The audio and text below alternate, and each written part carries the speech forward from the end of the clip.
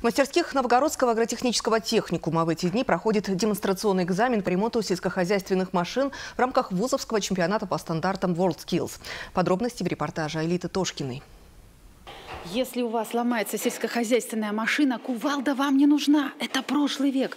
Нынче-то оно как? Ведь механику нужен ум, потому что работать приходится с электроникой. Конечно, вот этот трактор как раз начинен электроникой. У нас есть э, специализированные диагностические приборы, тестер.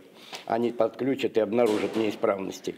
Дальше. У нас есть система точного земледелия. Да?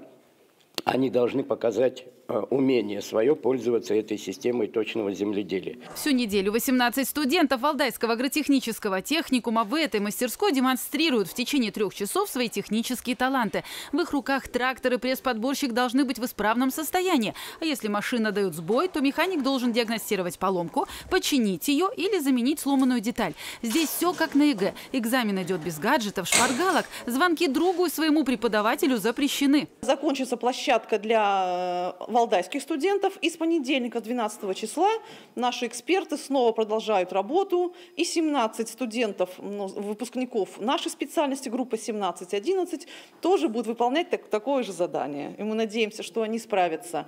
В чем особенность? Э, э, студентов валдайского технику оценивать наши преподаватели.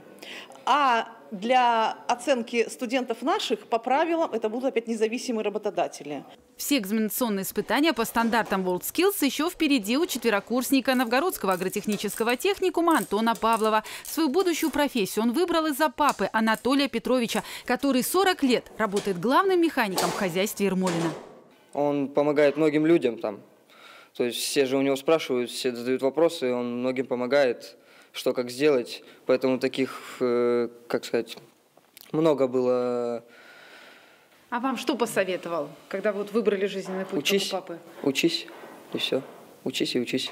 В руках лучших из этих умелых ребят в скором времени будут не только дипломы и медали, но и скилл-паспорты за профессионализм, который особо ценится у работодателей. Кроме того, чемпионы станут наставниками у первокурсников. Впервые в этом году на специальность эксплуатация сельхозмашин в Новгородский агротехникум поступило 50 ребят, в два раза больше, чем прежде, и все на бюджетные места.